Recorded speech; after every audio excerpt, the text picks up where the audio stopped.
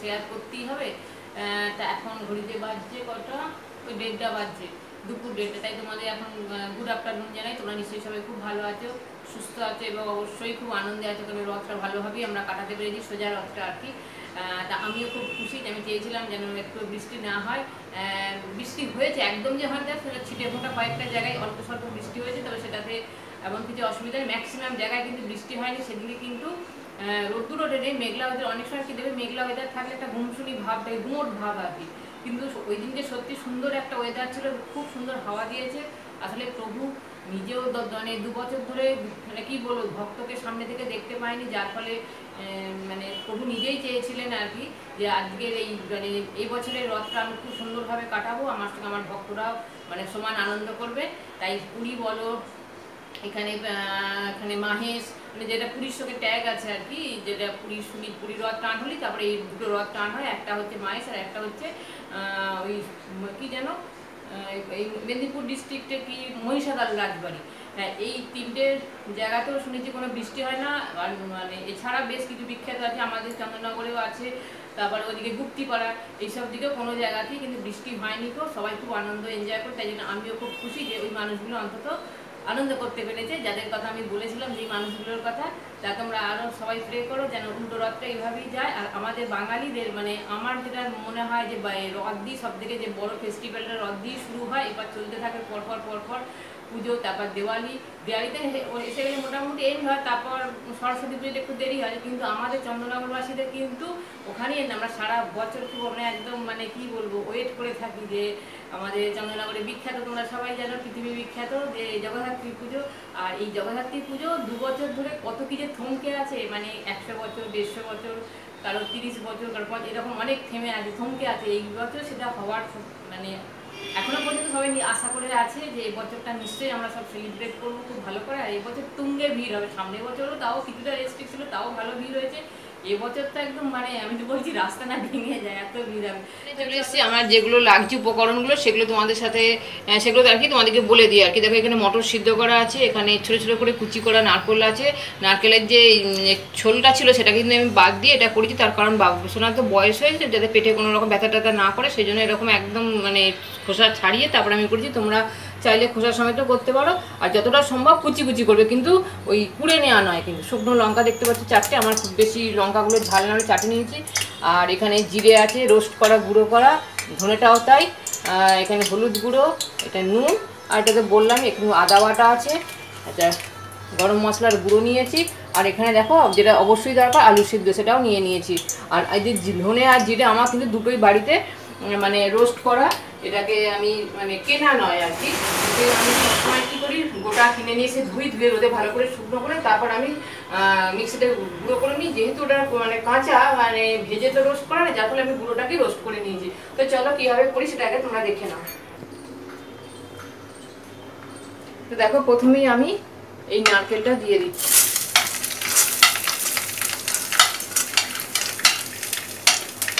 এটা টোটালি নিরামিষ। আমি একদম পেঁয়াজ, রসুন কিচ্ছু দিচ্ছি না বা চিকেন কারির মশলা অনেক সময় আমি দিয়ে থাকি কিন্তু এটাতে আমি দিচ্ছি না। অনেক সময় মানে যেটা দেবো সেটা তোমাদের সাথে অবশ্য বলেই দেবো, কিন্তু আমি এখানে একদম টোটালি নিরামিষ করছি। এর আগেও আমি আলুর চপে নিরামিষ করেছি, সেটা কিন্তু অন্য, এটা একদমই অন্য।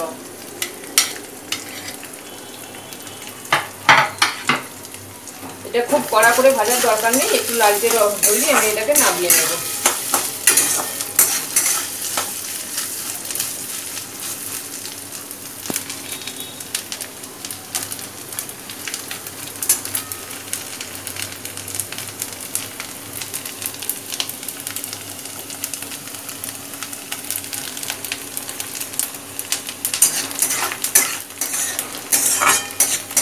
হালকা ব্রাউনি হচ্ছে, আর একটু বলি জাস্ট আমি এটা তুলে নেব। হ্যাঁ কাঁচা গন্ধটা একটু যাতে না লাগে সেই জন্যই এটা একটু এরকম হালকা করে নেব, কিন্তু একদম লালচে যেন না হয়ে যায়।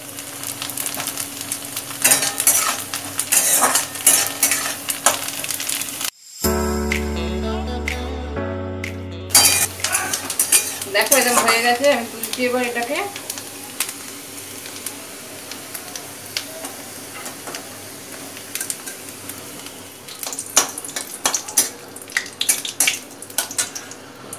আচ্ছা আমার এখানে টমেটোটা দেওয়ার দরকার ছিল। টমেটো আমার একদম যে শেষ হয়ে গেছে, আমি খেয়ালই করিনি যে আমার ফ্রিজ থেকে টমেটো বের করতে গিয়ে দেখছি টমেটো নেই, কিছু করার নেই গো।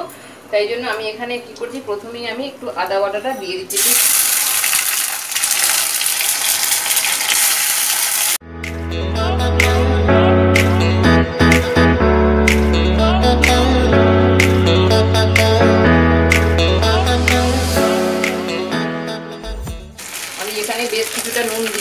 আবার দেবো।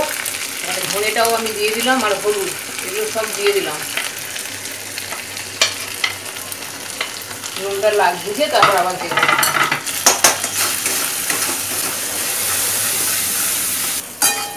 দেখো এটা ভাজা হয়ে গেছে, এবার এমনি দেখো আমার কিন্তু আলুটা দেখছ, হাতে করে কিন্তু একদম পুরো যে মাখা, যে আমরা সিদ্ধ আলু মাখি আর কি খাই ভাত দিয়ে, সেরকম কিন্তু এটাকে জাস্ট আলুটাকে সিদ্ধ করে হাতে করে ভেঙে নিয়েছি। এবং এটা আমি অনেক ফোন করেছি, অনেক সকালে করেছি, তার কারণ একটাই কারণ, জলটা আমি জাস্ট একদম পুরো শুকনো করে নিয়েছি আর কি। শুকনো করার জন্যই আমি এটা যতটা পেরেছি সকালবেলা করেছি আর কি। রান্না করতে যখন আসি সকালবেলা, তখনই এটাকে আমি সিদ্ধ করে নিয়েছি। এবার এটাকে ক্রমান্বয়ে নাড়তে হবে।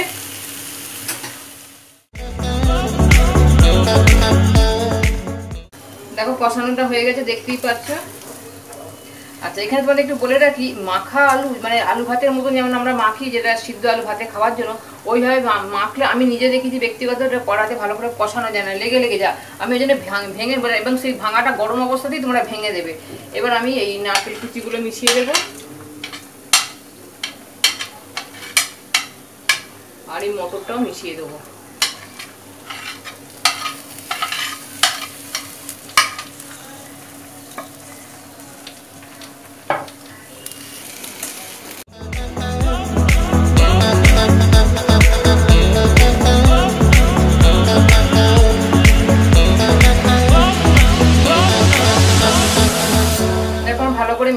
গেছে সমস্তটা, আবার ভালো বেশ মানে কষিয়েও নিয়েছি, এবার আমি জিরে গুঁড়োটা দিয়ে দিলাম এর মধ্যে।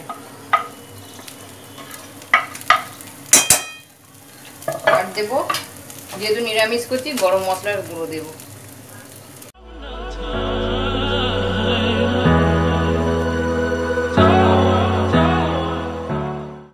দেখ বন্ধুরা, আমার কড়া দেখছি আলু কিন্তু একটুও লেগে নেয় একদম পুরো চলে আসছে, একদম মানে দেখো, এই দেখো।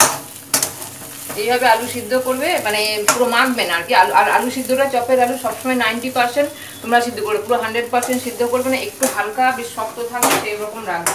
তোমরা এইভাবে করে দেবে, খুব সুন্দর হয়।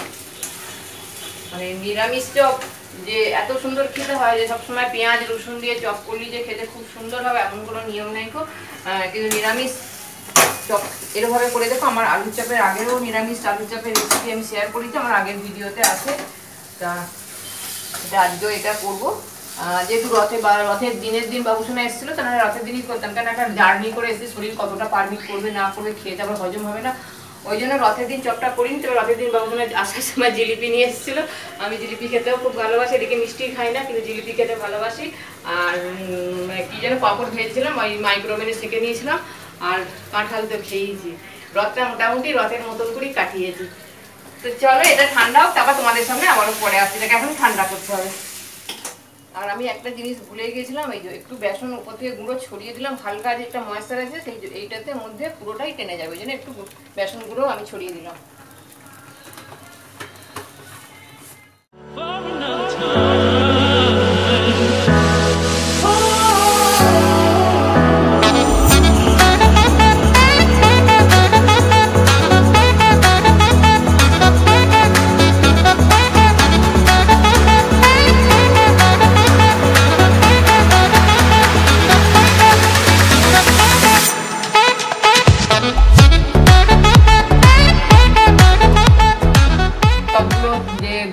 স্ট্রাকচারটা দেবো, সেটা হয়ে গেছে।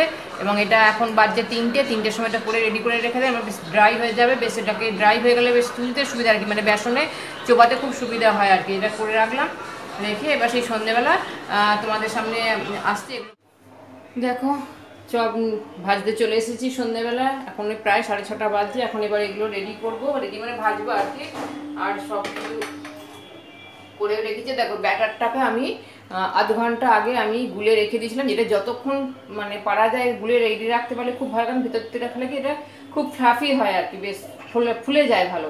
সেই জন্য এটা আমি আধ ঘণ্টা আগেই আমি রেডি করে রেখেছিলাম। আর আধ ঘণ্টার বেশি রাখলেও কোনো অসুবিধা নেই, আমি এসব ফটাফট করে এবার ভেজে নিই।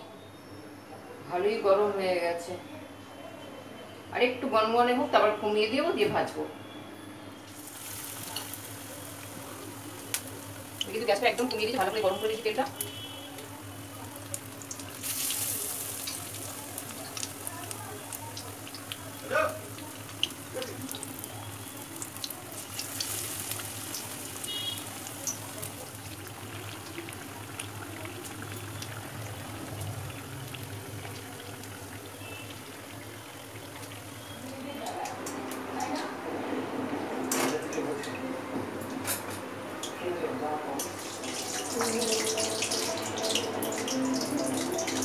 এই যে এটা নর্মালি যেভাবে সবাই বলে, আমিও এটা কিছু না, এটা তোমাদের দেখায়নি তার কারণ হচ্ছে কি সবসময় ক্যামেরা করাটা পসিবল না, তাই জন্য দেখাতে পারি। সব কিছু দিয়েছি, নুন, হলুদ তোমরা যা দাও যা লাগে, আর একটু অল্প আমি চালের গুঁড়ো দিয়েছি, আর কি। একদমই অল্প, একটু মজমজে আসার জন্য এছাড়া আর কিছুই নয়। আর তবে এটা কিন্তু একদম সত্যি কথা যে আধ ঘণ্টা আগে যদি আমি এটাকে রেডি করে মাথা রেস্টে রেখে দিতে পারি না, খুব ভালো। আধ ঘণ্টার জায়গায় যদি একটু বেশি হয় তাহলে তো কোনো অসুবিধা খুব ফ্লাফি হয় একটু খুলে যায় না, খুব ভালো লাগে এরকম করে করলেই বেশিরভাগ তাই করে। আজকাল সবাই সব খুব সুন্দর সুন্দর সবাই রান্না করে।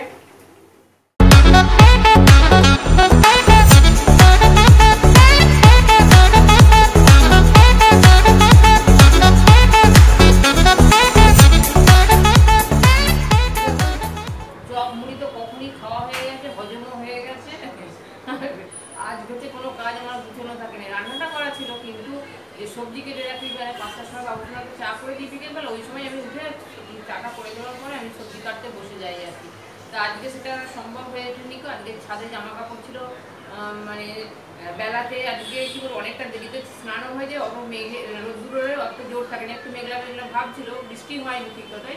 তা ভাবলাম যে বিকেল পর্যন্ত রেখে দিলে হাওয়া দিচ্ছে তো খুব শুকিয়ে যাবে আর সেই জন্যই আমি ওইগুলো অনেক ছিল আর তুলতে গিয়ে প্রায় সাড়ে পাঁচটা হয়ে গেল, আমি আর আমি আজকে এখন তরকারি কাটবো না, সব কাজ মিটিয়ে নিই, তারপর সবজি কাটবো আর কি। তা তোমরা এর কাছে আর সম্পূর্ণ ভিন্ন স্বাদের মানে নাকের কুচি, মটর সিদ্ধ দিয়ে একটা আলুর চপ করলাম সম্পূর্ণ নিরামিষ, একদমই বেশ বেশ টেস্টি যখন ওই নারকেলের কুচিগুলো গাছে পড়ে না, খুব টেস্টি লাগে খেতে, খুব ভালো লাগে। তো তোমরা এরকম অবশ্যই চেষ্টা করবে মানে এরকম বানাবার একবার ওরকম ট্রাই করবে, দেখবে খুবই ভালো লাগবে খেতে। আর দেখো আমার আমার কাছে ব্যক্তিগত মনে হয় যে আমিষের থেকে নিরামিষ খাবার কিন্তু একটু ভালো করে রাখলে নিরামিষ খাবারের টেস্ট কিন্তু খুব বেশি এবং শরীরের বেশ স্বস্তিও থাকে। এটা একান্তই আমার মত। তোমরা তোমাদের, আমার মতের সঙ্গে তোমরা কতজন যে একমত হবে আমি জানি না, কিন্তু আমার অন্তত হলে নিরামিষ খাবার খেতে ভীষণই ভালো লাগে। যদি রান্নাটা অবশ্যই ঠিকঠাক হতে হবে। আমার এই ভিডিওটা বাড়াতে চাইছি না, এখানেই এন্ড করতে চাইছি। তোমাদের সাথে দেখা হচ্ছে নতুন একটা ব্লগের সাথে। তখন তোমরা সবাই কী করবে? না, খুব খুব ভালো থাকবে।